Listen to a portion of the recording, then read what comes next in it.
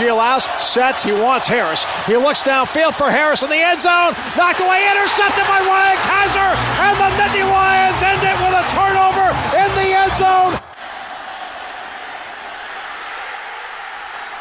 zone.